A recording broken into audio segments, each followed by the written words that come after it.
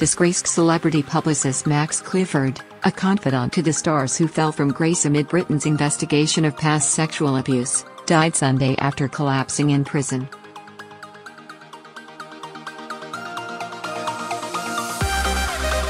He was 74. Once one of the most powerful figures in British entertainment, Clifford was convicted in 2014 of eight counts of indecent assault stemming from attacks on teenagers dating back more than 40 years.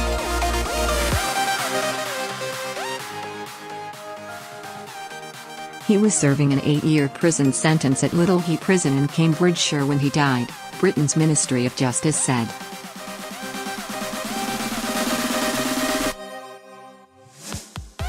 Clifford was once as well known as the people he represented, the go-to guy for celebrities looking to limit the damage from drug problems, legal issues or declining popularity.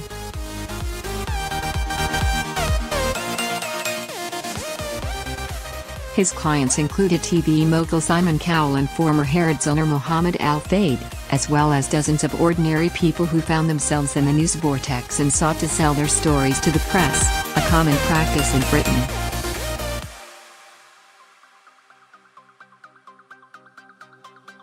The public relations guru was arrested in December 2012 amid allegations that he lured girls as young as 14 into sex by offering them acting roles.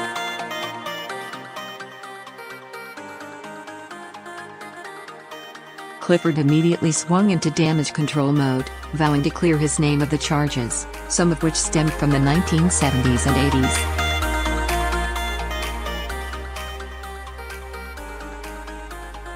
The allegations in respect of which I have been charged are completely false, very upsetting, very distressing, but completely false, he told reporters outside his home at the time.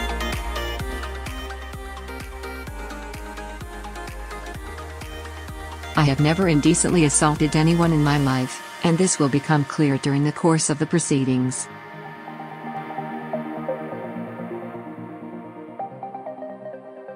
Clifford was arrested as part of an investigation called Operation Yewtree, a wide-ranging inquiry into allegations of past offences spurred by the case of Jimmy Savile, a well-known British entertainer accused of abusing hundreds of girls and women.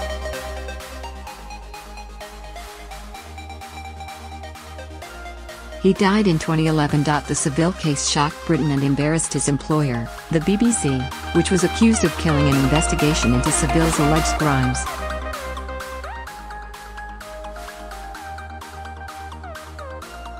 The resulting upheaval is comparable to the stream of sexual misconduct allegations leveled at American actors, politicians and media personalities following revelations about Hollywood producer Harvey Weinstein.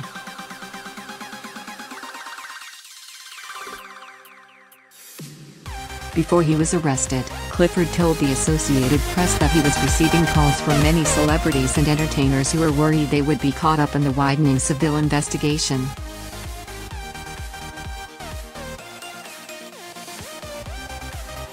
They're phoning me and saying, Max, I'm worried that I'm going to be implicated, Clifford said at the time.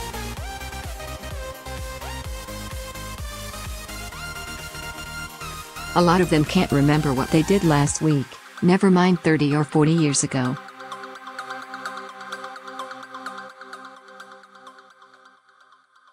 Clifford's daughter Louise told the Mail on Sunday that her father first collapsed on Thursday as he was trying to tidy his prison cell,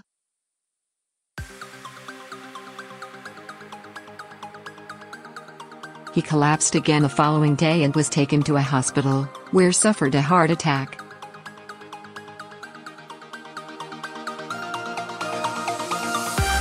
She told the newspaper he had been in a bad way in a critical care unit. It was just too much, she said.